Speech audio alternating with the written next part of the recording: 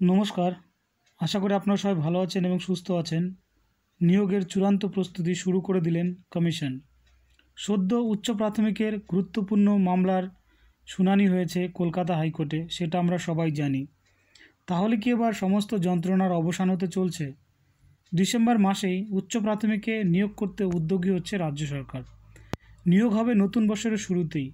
এই নিয়োগ প্রক্রিয়া নিয়ে লম্বা টালবানা চলতে থাকায় অস্বস্তিতে পড়েছিলেন রাজ্য সরকার।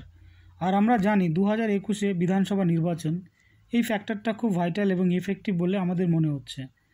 এই পরিস্থিতির কথা মাথায় রেখে নিয়োগ প্রস্তুতি শুরু করে দিলেন রাজ্য সরকার তথা কমিশন বিশেষ সূত্রের খবর অনুযায়ী, দুটি ফেজে কাউন্সিলিং করতে পারে কমিশন আর অনলাইনে কাউন্সিলিং করার জন্য ফাইনাল প্রিপারেশন কমপ্লিট করে ফেলেছে। সেভেন মেম্বার নিয়ে একটি টাস্ক ফোর্স তৈরি করা হয়েছে দ্রুত নিয়োগ সম্পূর্ণ করার জন্য। অনলাইনে কাউন্সিলিংয়ের পাশাপাশি ভার্চুয়ালের মাধ্যমে কীভাবে নিয়োগপত্র দেওয়া যায় তা খতিয়ে দেখবে এই টাস্ক ফোর্স।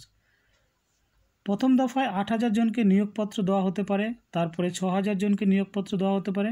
এখন দেখার বিষয়, চোদ্দ হাজার তিনশো উনচল্লিশটি শূন্যপদ নিয়োগ করতে মোট কটি ফেস করা হয়।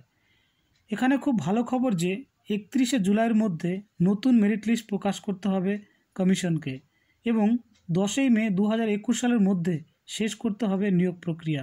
এমনটাই নির্দেশ দিয়েছেন কলকাতা হাইকোর্ট। ধন্যবাদ। পরবর্তী কোনো আপডেট থাকলে অবশ্যই আপনাদের সাথে শেয়ার করব।